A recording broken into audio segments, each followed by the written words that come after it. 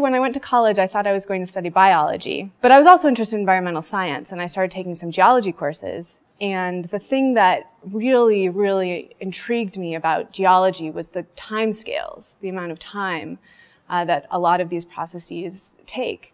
Paleontology was a really great way of combining my earlier interest in biology with my newfound interest in geology. In particular, I was really interested in the early evolution of animals, and the fossil record, of course, is the way to directly study that.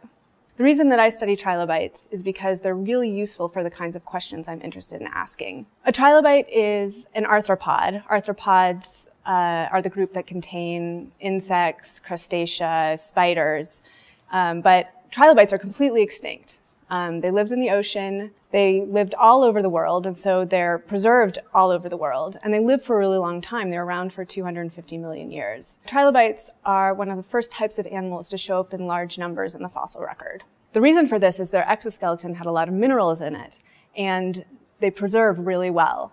So one really cool thing about trilobites is that like insects, they molted throughout their lifetime. And all of those molts are preserved in the fossil record, which means we can actually go back and look at how they changed during development, how they changed during their lifetime. And that gives us a lot of information about uh, how changes during development might influence long-term evolution.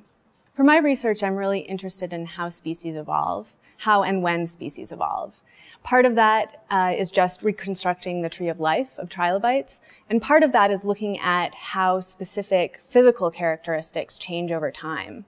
So one of the methods that I use to describe physical characteristics in trilobites is geometric morphometrics. And basically what we do is we pick a bunch of points that overall represent the shape of the part that we're interested in. So for example, one of those points might be the place where the eye meets the rest of the exoskeleton.